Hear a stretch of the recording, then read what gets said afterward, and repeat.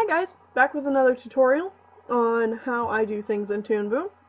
This one will be really quick. Um, I recently uploaded this video that is my work in progress for a Ivypool map.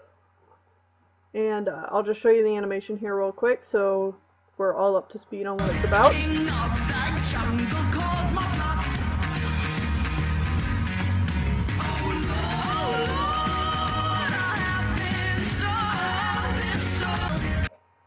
So that's the animation that I have right now.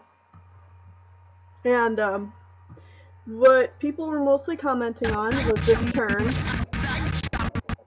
and uh, the lip sync character So I'm just going to go. I'm gonna turn off the scrubbing so you guys aren't hearing it. So yeah, this lip sync and this turn.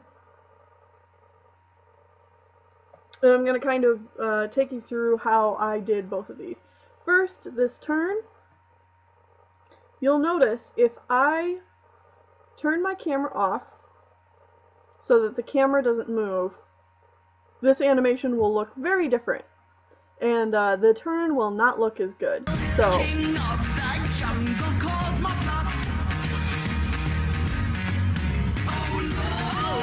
And then Ivypool walks off screen. You can't see her anymore because the camera doesn't follow her. So, for this turn, what I did, and I actually have this on ones, you can see all my keyframes here. I actually did animate the two characters turning. And I did quite a few frames because I wasn't sure how fast I wanted it to go, but I wanted it to be fast and smooth so I did quite a few to make sure it was fast and smooth. Uh, you'll see though, if I 50, put start at 30, I'm going to turn off the sound here so we can just see this turn over and over again.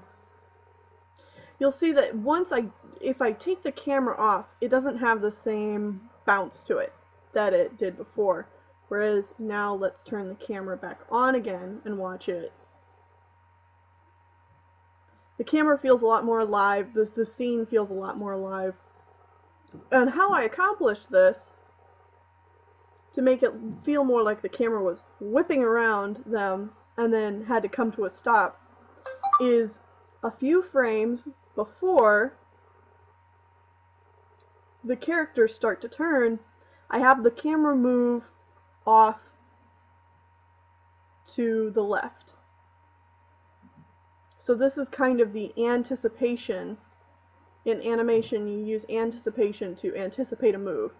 So I move the camera off a little to the left, and then the characters turn around, and then I have the camera has to stop, and it comes to a stop by moving a little bit back to the right to center the characters back in. So it, it gives the camera a little bounce. And I guess to, to further kind of show all that I'm doing, I'll move these frames off. So you'll just see, you know, this is a really simple camera move. Camera's moving over, it slowly moves back, and then bounces back into place.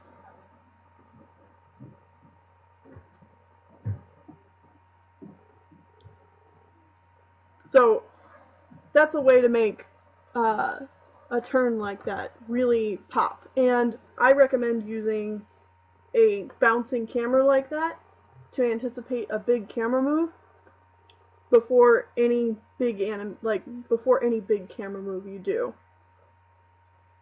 Anytime you want the camera whipping around, if you add a little bounce to it, it feels more realistic and it feels more like someone's actually holding a camera as as compared to it being really stiff like it was before.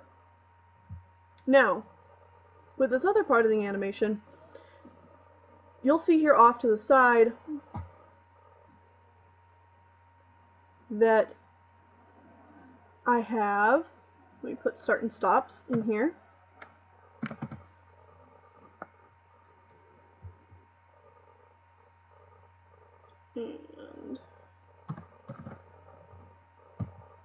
Turn the audio back on and play this a few times.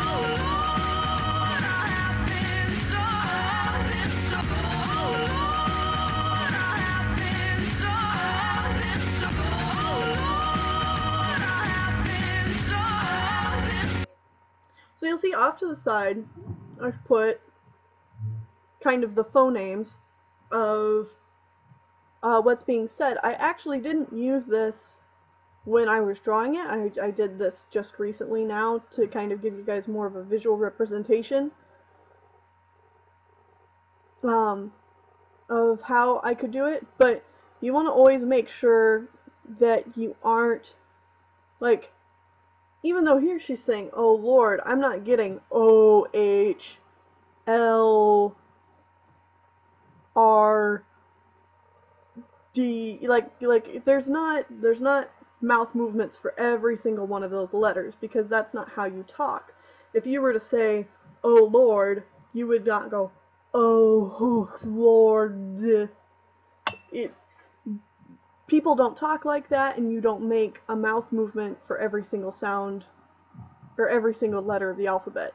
So just especially getting these keyframes in, keep it nice and loose, keep the important uh, phonemes in there, and you'll see with this off to the side, I kind of now have a guide. So, you know, I know that she needs to be making this O shape. But I also know that the song goes oh lord it gets like longer and and i want to accentuate the expression on her face so you know i i pull that expression back before it comes to the next phoneme.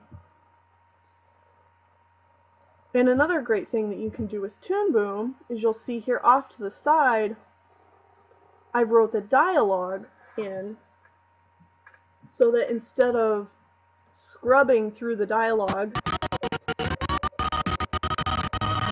and having to listen to it all the time to try and draw what I'm to try and draw the the mouth movements, I can now do that once and write it off to the side and write the important points in where the mouth should change. So here's the O, the L, O R, D I have B is important. Whenever you have a B or a P sound, make sure that you give a frame for the character to uh, for their mouth to close because the, their mouths will almost always close on a B or a P sound. B, N, t, old. And then there, her head's kind of turned off to the side, so you don't even see that. But if, if you're someone who has trouble doing lip sync, I would at first recommend trying to simplify it. Um, a lot of times people make lip sync a lot harder than it needs to be.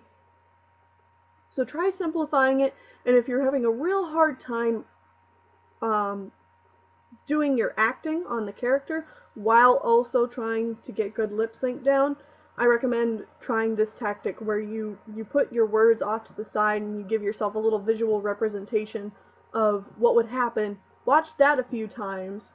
We'll see if you just watch the mouth off to the side. While that's not perfect, it does give me a good idea of am I doing this right? Am I not doing this right? What do I need to change? Is the timing off? And you know, little things like that can stop uh, stop you from from getting a lot of emotion into your characters when you want to when you want the focus to be on the emotion and not have someone be distracted by whether or not the mouth movement looks correct. And so yeah, that's just kind of a, a quick tutorial on how I've been working on this part and I'm really excited to keep working on it. So I'll end it here and hopefully you guys will see the finished product soon. Yeah. Talk to you later.